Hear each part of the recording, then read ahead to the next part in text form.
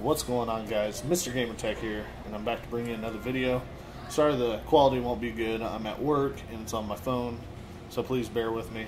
But today, I would like to talk about a scumbag of the video game industry named Phil Fish and what he has said the last couple of days on Twitter.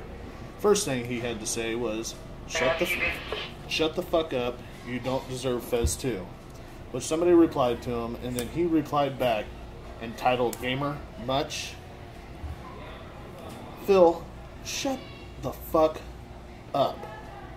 Every time you open your fucking mouth, you say something stupid.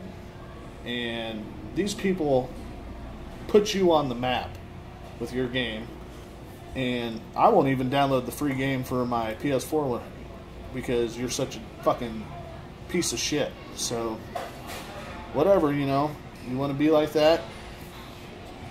Just won't get my downloads. And I know other people that aren't going to download your shit either.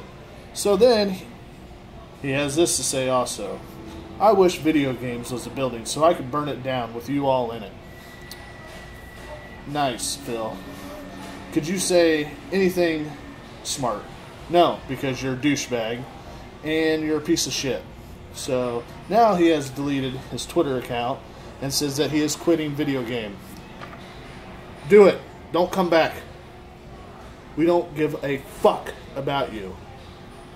Shut the fuck up. Stay off of Twitter because you can't say anything rational. So uh, that's all I got to say.